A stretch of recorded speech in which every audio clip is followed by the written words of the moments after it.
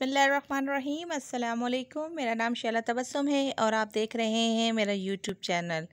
आज हम आपको सब्सक्राइब करें और बेल आइकन का बटन प्रेस करें ताकि मेरी हर आने वाली नई वीडियो का नोटिफिकेशन आप तक बर वक्त पहुँच सके, ताकि आपका मेरा साथ यूँ ही बरकरार रहे। और मेरी इस वीडियो को लाइक कमेंट और शेयर करना ना भूलें।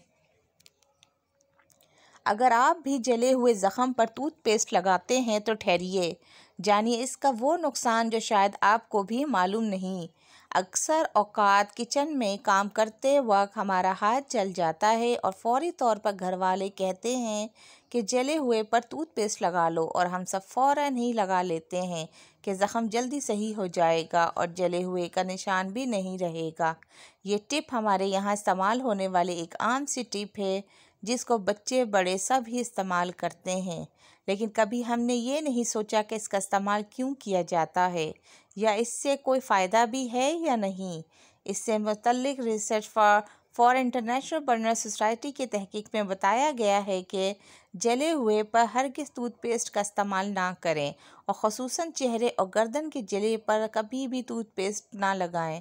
इसकी अहम वजह यह है कि टूथपेस्ट में फ्लाइनो, पेस्ट में फ्लाविनोवाइड्स पाए जाते हैं, जो कि जिल के खलियात को अंदर से ख़त्म कर देते हैं, यानी डेड स्किन सेल्स के बनने की वजह ये टूथपेस्ट होती है। ऐसा क्यों करते हैं?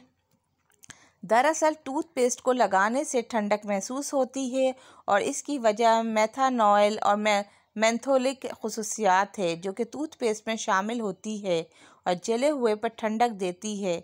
हमें राहत महसूस होती है, लेकिन यह स्किन की इन परतों को नुकसान पहुंचाती है, जिनका ताल्लुक हमारे खून और एहसाब से होता है। लिहाजा जले हुए पे टूथपेस्ट लगाना इंतहाई ख़तरनाक अमल है। घरेलू टिप्स। ना, नारियल के तेल में नमक शामिल करें और इसको जली हुई स्किन पर हल्के से लगाकर खुला छोड़ दें। इसके बाद जब यह खुश्क हो जाए तो हल्दी और पुदीने का पेस्ट बनाकर लगाने से ज़ख़म भी जल्दी सही हो जाएगा और जिल को कोई नुकसान भी नहीं होगा। पेस्ट कैसे तैयार करें? पाँच से छः पुदीने के पत्तों को दो चम्मच पानी के साथ ब्लेंडर में डालें और इसमें हल्दी का एक चम्मच भी शामिल करके ब्लेंड कर लें। इसके बाद इस पेस्ट को जले हुए पे लगा दें। आपका ज़ख़म जल्दी सही हो जाएगा।